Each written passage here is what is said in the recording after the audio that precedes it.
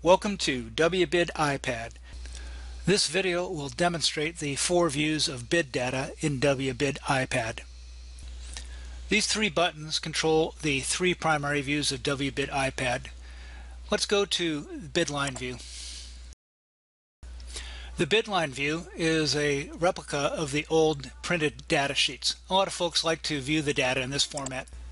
Let's go to modern view. Modern View is a lot like the company's electronic bid sort program. It displays the trips in color codes for AMs, PMs, reserve, etc. Let's go back to summary view and now we'll view the fourth view which is calendar view.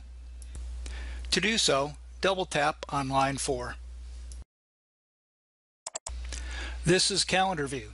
To get to another line, swipe down in the calendar view. Go to line 5. Swipe down again to line 6 Swipe down again to line 7. Swipe up to line 6. Swipe up to line 5. Swipe up to line 4.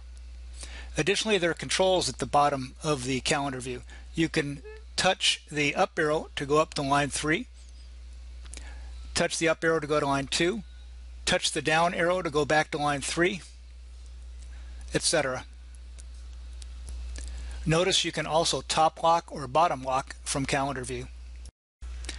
To view trip detail from the calendar view, all you need to do is touch one of the trips.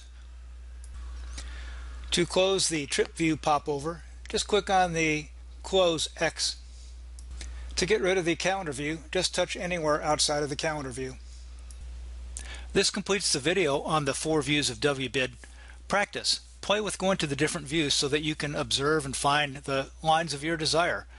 As always, if you have any questions, don't hesitate to send an email to support at wbidmax.com. Thanks for subscribing.